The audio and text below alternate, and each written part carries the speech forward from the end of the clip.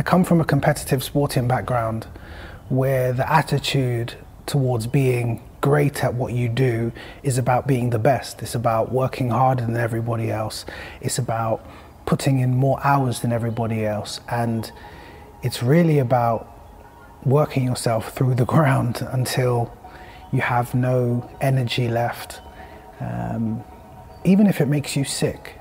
If you want to be great at what you do, you have to outwork your opponent, you have to grind, you have to be willing to sacrifice your happiness, your joy, your peace in order to accomplish the ultimate goal of winning. While this way of living does bring about certain results and a high level of skill, it doesn't do it without compromising other areas within your life. And it's often the case that you see with many athletes that they get to such a height, but they're lacking in some other area um, and often plagued by their own mental health. This is what it was like for me. And this way of living actually flowed into other areas of my life. I've just been addicted to working hard. I built up habits of working all day and all night because I knew that somewhere in the world, someone else was awake trying to take my spot. I developed a lot of skills, things that I'm really good at today, but the way I would define myself in crucial points in my life is that I'm like a Swiss Army knife, but made of plastic. So much time went into developing the skills, refining the skills, and having that dedication that no matter what, I will put in the hours. And that's all because I believe that hard work equaled success, security, and in some cases, satisfaction. For a lot of people, their hard working habits are very similar to mine, but I'd probably throw in another one survival we are told from very early on that actually you need to be able to provide, you need to be able to have a, a, stable life, and so you have to work hard. Many people live this way. There's a sense of accomplishment for working hard and feeling as though you've earned your way and you haven't been given any handouts. And essentially, you punched your ticket and you can feel proud of that, even if it has a detriment on your health.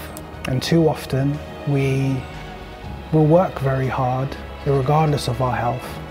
And this is the point where everything becomes off balance. 2020 forced people to change. Change the way we work, change the way we connect, change the way we communicate.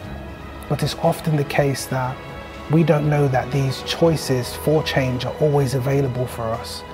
It doesn't take a global pandemic for us to make a decision that is actually better for us for our health and our well-being. I've seen through my own works that a lot of my peers, clients, friends and family are all victim to burnout. Many of them haven't achieved their goals, no matter how skilled they are or how qualified they are, because at their foundation there is no balance. And all of this is because of habits. We are habitual creatures, and so what we repeatedly do, we become. These habits can be seen as constructive or unconstructive. And the more you do them, the more you repeat them, they become more instilled in you. And so it's harder for you to even believe that there is another way. For many years, there have been loads of videos about how to have a successful work-life balance and how to have the perfect work-life balance. But I want to tell you today that that's a myth it's not as easy as having a balance of half work, half life, um, because the balance starts within. On scales, this may be the case, but when we're working with humans, we're working with the intangibles which fluctuate moment by moment. Balance isn't about what you do or how much you do it. It's more to do with how you do it and why. It's not solely about less work, more meditation, or less junk food, more veg.